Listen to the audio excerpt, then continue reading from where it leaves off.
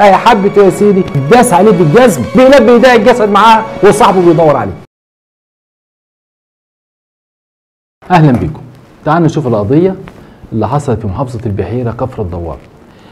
أحيانا الزوج لما يكون متسامح بتبقى ميزة بس يت- يتسامح في إيه؟ خلي ان مراته مثلا سرقت من- منه 100 جنيه. يتسامح فيها. خلي إن مراته صحي الصبح ما هدومه في نظيفه. يتسامح فيها. خلي ان جه يلبس هدوم لقاها مش مكوية. يتسامح فيها. جه مرة لقى البيت مش نظيف. يتسامح فيه. جه مرة لقى البيت يضرب يقلب والطبيخ مش طبخة. يسامح. كل دي حاجات سهلة. لكن هل ممكن الزوج يسامح إذا عرف إن مراته كانت لها عشيق وبيجي لها البيت وبينام معاها؟ هل ممكن الزوج يقول لمراته خلاص بقى الموضوع ده ما يكررش تاني. لو اتكرر تاني هزعل منك والله وأنا بقول لك أهو. ويمسك العشيق ويقول له كده غلط دي مراتي. والله لو عملت كده هيصعب عليا منك. هل ده كلام يجوز في حاجات الزوج لما يكون متسامح فيها ماشي دي حاجات عادية. خدت 100 جنيه من وراه إنك ما, عملتش الشوز بتاعه ما نظفتش البيت رجع لقى الأكل مش جاهز رجع لقى البيت مش نظيف ماشي يتسامح في الحاجات دي كلها. لكن يتسامح إنه يعرف إن مراته ليها صديق بيتردد عليها في غيابه وبينام معاه وبيلم ايديها الجسد ده يبقى الزوج ده يبقى لا مؤاخذة. راجل مش كويس. اللي حصل تعالوا نشوف القصة دي اللي حصلت في البحيرة كفر الدوار. اسم الزوج شريف عنده 28 سنة وزوجته اسمها منى 23 سنة. هو الراجل كان بيدور على عروسة أولاد الحلال قالوا له على منى وفعلا لما سأل عليها لقوها بنت ناس ومؤدبة وبالفعل تقدم لها وتم الجواز ومفيش مشاكل بينهم والحياة زي الفل ماشية الدنيا ماشية بين الزوج وزوجته والأمور مستقرة والأمور تمام والحياة عادية. الزوج عنده عربية ملاكي مخصصها للخير. يعني إيه للخير؟ خلي ان واحد عايز يروح مشوار مستشفى. خلي ان واحد وراه عايز يروح مع. يعني ليه بنت عايز يجيب لها الشبكة من محافظة البحيرة وهم كفر الدوار ياخدوه. أهو منه بي... بيستفيد بالعربية وبيطلع قرشين. يعني الراجل يعني بيستفيد بالعربية الملاكي بتاعته. فالزوجة في الوقت ده اتعرفت على واحد اسمه همام. همام ده عنده 27 سنة وهو صديق شريف اللي هو زوجها. وأنا قلت قبل كده 100 مرة ويمكن الناس حفظتها. صاحبي وصاحبك على القهوة صاحبي وصاحبك على الكافيه صاحبي وصاحبك كرسيين قدام البيت. صاحبي ما يدخل صاحبك ما يدخلش البيت إلا ومعاه مراته أو حتى ما يدخلش البيت أصلا. لا معاه مراته ولا غير مراته لأن ممكن معرفة السيدات مع بعض تبقى مصيبة. فكل واحد يخليك نفسه ويخلي علاقاته بره بيته. ليك علاقاتك وصداقاتك ومغامراتك بره بيتك. خلي بيتك ده قلعة حصن. ما حدش يقدر يدخله ولا حد يقدر يقرب منه. احمي مراتك واحمي ولادك من شر عين أي حد يدخل عليك سواء كان راجل أو ست.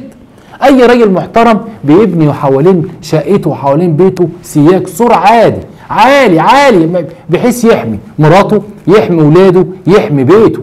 لأن دلوقتي إحنا بقينا في جو الواحد الأخ بيبص لمرات أخوه. الزوجة بتب- بتبص لجوز أختها. كله بقى مباح وكله دلوقتي عايز يلبي نداء الجسد بغض النظر زنا زنا محارم حرام حلال. بقى الموضوع دلوقتي في ضعف إيمان وعدم اقتناع باللي موجود.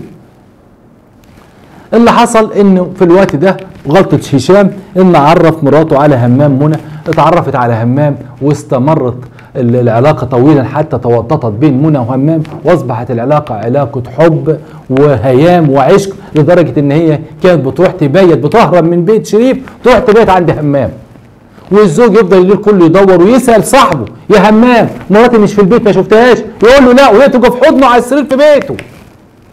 تخيلوا واحد يتصل بصديقه يقول له ده مراتي خرجت من البيت ولسه ما رجعتش. يقول له ياخد الوقت ترجع ما تقولش نام وهو حاضنها بيلبي ايديها الجسد معاها وصاحبه بيدور عليه. شوف وصلت تجيرها قد إيه؟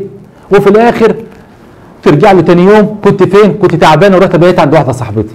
يقول لها طب ما تتكررش الموضوع ده تاني. زوج متسامح جدا ومتساهل جدا لدرجة إن هو عرف إن فيها علاقة بتربطها بيه همام صاحبه. فقال لها أنا اتاكدت من خيانتك وإن أنت كنت بايته عند صاحبي وأنت وأنت وأنت واعترفت له الزوجة وقالت له سامحني ومش هيتكرر الموضوع ده تاني وغصب عني وكانت نزوة وخلاص وبكت والزوج قال لها خلاص أنا سامحتك بس على فكرة لو شفتك تاني مع همام أنا هقتل همام.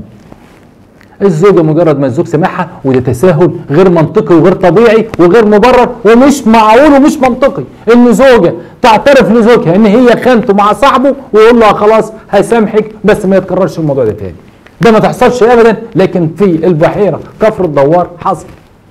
وفعلا سامحها لكن الزوجة راحت اتصلت بعشاها اللي هو همام قالت له خلي بالك زوجي حلف لو شافني معاك أو شافي شافك معايا إنه هيقتلك. قال لها لا كده جاب آخره معايا يبقى أنا لازم أتخلص منه ونتجوز.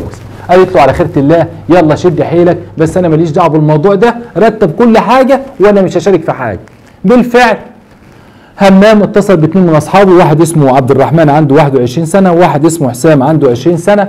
اتفق معاهم وقال لهم إحنا لازم نخلص على آه شريف والفلوس اللي أنتوا عايزينها بس ساعدوني. قالوا هنعمل إيه؟ قال له انت تقلص صوت واحدة ست وتقول له أنا جوزك تعبان وعايزة توديه المستشفى وتدي له العنوان ومجرد ما هيركب قالت له طب هو فين الست دي؟ ما هيروح مش هيلاقي ست قال لها لا أنا هلبس ست ونقاب واقف وهتصل بيه أول ما أشوف العربية واوقفه وتركب ونركب إحنا الثلاثه بالفعل اتصلوا بيه اتصلوا بشريف اتصل واحد منهم اتصل وعمل واحدة ست وقال له أنا جوزي تعبان ولازم تيجي لنا دلوقتي والعنوان في الحتة الفلانية في كفر الدوار وهنكون مستنيينك بالفعل همام وصل بالعربية لقى ست منتقبة وجنبها راجل مسنداه قال لهم أنتوا اتصلتوا بيا؟ قالوا أيوه ركبوا معاها العربية.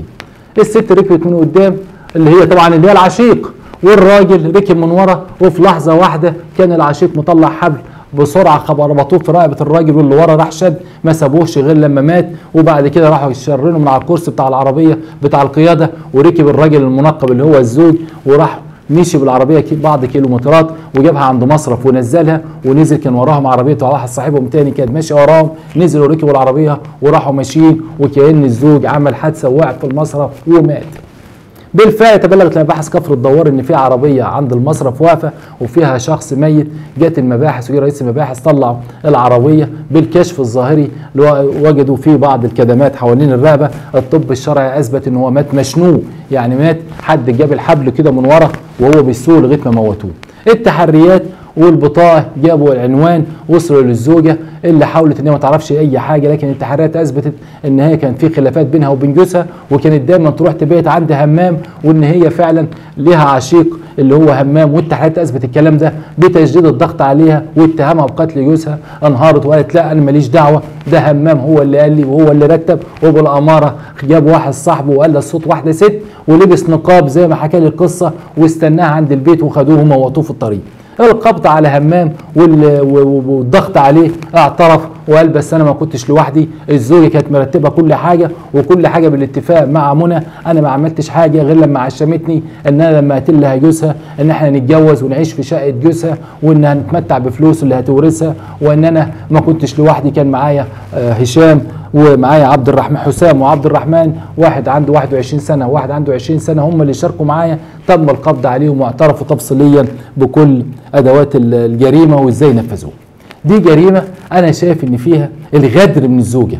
إزاي إن هي بعد جوزها ما يكون متسامح لأقصى درجة، أي واحد تاني كان غير شريف كان ممكن يقتل همام ويقتلها، لأن إلا الشرف وإلا العرض يعني الواحد ممكن يسامح في كل شيء إلا في شرفه والا في عرضه.